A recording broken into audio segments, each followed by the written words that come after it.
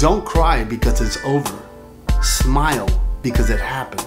Make sure to like, share, comment, and subscribe in order to make it happen.